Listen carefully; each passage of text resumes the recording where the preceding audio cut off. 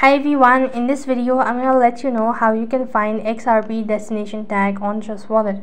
So in order to do this procedure, you have to go and log in into your Trust Wallet account. And when you're logged into your Trust Wallet account, you need to go to the receiving tab. And here you could go and type in XRP.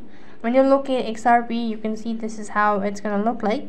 Right at the bottom, you can see there's this option or there's this statement mentioned as no tag required. So you can see there no such tag is required so you could go ahead and copy it.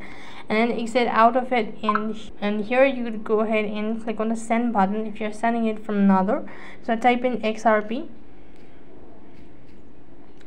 when you locate XRP now you need to paste, in the wallet address that you recently copied. Enter the exact amount and as for the destination tag you do not need that. You could also scan it or write that and click the next button and confirm or initiate the transaction.